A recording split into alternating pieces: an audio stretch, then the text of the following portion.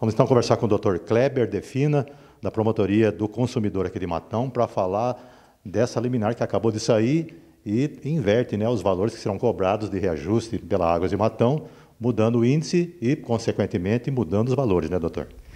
Exato, Esteves. Boa tarde a todos. É, o que existia era um contrato, é um contrato, né, entre a prefeitura e a concessionária que prevê o reajuste da tarifa a ser cobrada de água e esgoto, com fundamento no índice IGPM. O problema é que quando chegou a pandemia, a gente viu duas forças concomitantes e que ambas somadas prejudicam muito o consumidor. Então, em primeiro lugar, a pandemia fez o índice IGPM extrapolar muito a inflação. Então, em um ano, ou pelo menos no ano de referência para reajuste da tarifa, ele subiu quase 21%. Né? Isso está muito fora da realidade dos ganhos de todos os consumidores de Matão, ou pelo menos da grande maioria. Mas não é só o problema. Ao mesmo tempo em que a pandemia fez com que o índice subisse muito, ela também diminuiu bastante a renda dos brasileiros e dos consumidores matonenses. Né? Então, com base nessa realidade, a Promotoria de Justiça do Consumidor entendeu que a aplicação normal do contrato é, diante dessa realidade se tornaria muito prejudicial aos consumidores. E aí então foi formulado um pedido judicial, já que não houve, a, a, a, não houve uma composição extrajudicial, a gente não conseguiu fazer um acordo fora do, da justiça. Então houve um pedido judicial para que essa recomposição tarifária ela fosse mais consentânea, mais próxima à inflação. E o índice que a gente tem mais próximo à inflação é o IPCA. Né? Essa é a lógica do pedido. Que nesse momento, então, ou pelo menos o, o reajuste a ser aplicado para o ano de 2021, não seja com base no IGPM, que subiu demais em 2020, mas seja com base no IPCA, que subiu ali quase 4%, que é mais próximo da realidade dos consumidores.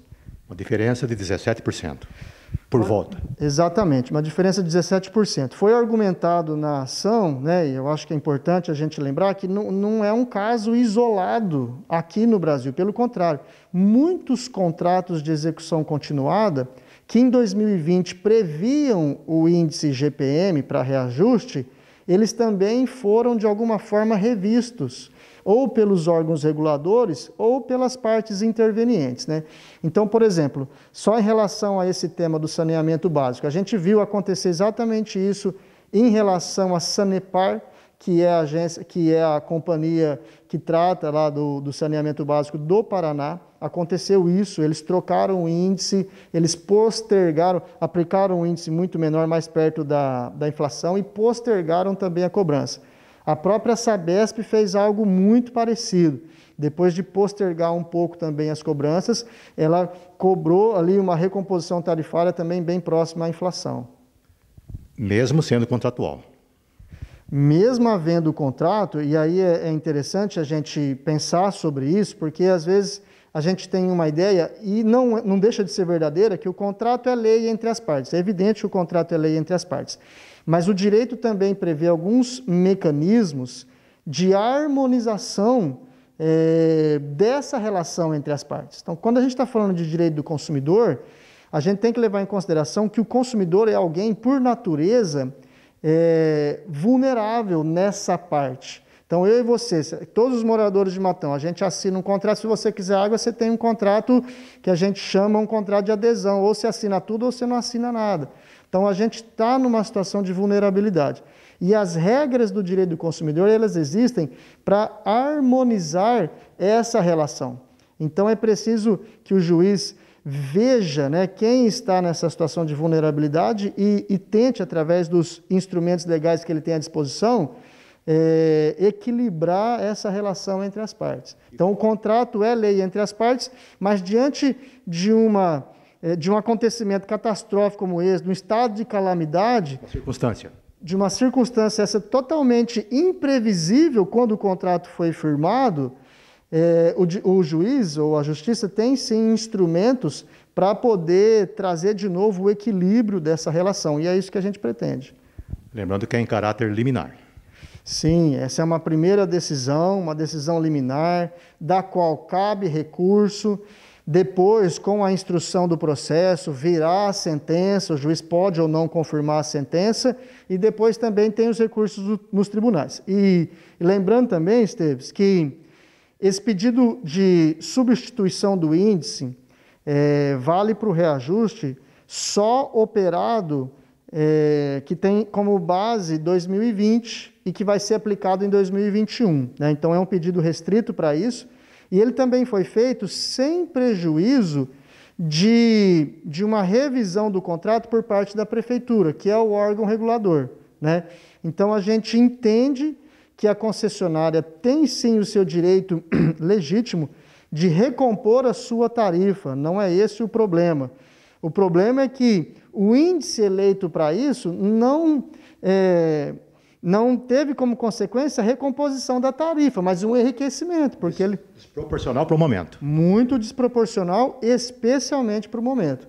Então, se o órgão regulador né, a, se mantiver essa decisão, que é o que a gente pretende, e se for verificado que algum prejuízo dessa decisão acarretou para o equilíbrio econômico-financeiro do contrato, a prefeitura depois vai poder ter medidas também para deixar essa relação equilibrada ao longo do tempo.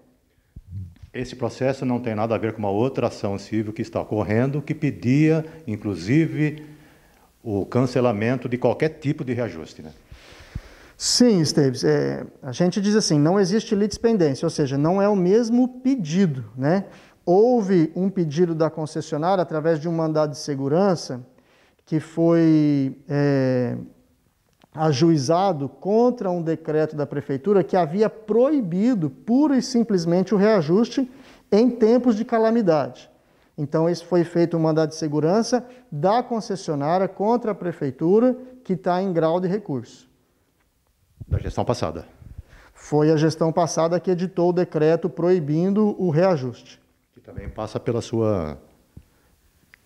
Sim. Passa pela... pelo seu crivo. Passa pela promotoria do consumidor, não como parte do processo, mas como terceiro que fiscaliza o cumprimento da lei no processo. São coisas distintas. A de agora é que fica suspenso o aumento pelo índice que a concessionária estava colocando nas isso, contas isso. Exatamente. A decisão que o juiz concedeu, nos termos do pedido formulado pelo Ministério Público, é que a recomposição tarifária que vai ser aplicada agora em 2021 seja feita com fundamento no IPCA, que é o índice que corresponde à nossa inflação. Bem menor do que o índice 17%, nós estamos falando de 21% IGPM para quase 4% o IPCA daquele período. Conversar com o Paulo Bernardi, que é o presidente da OAB, que foi a entidade que deu início a essa ação civil que culminou com a concessão dessa liminar. Certo, Paulo?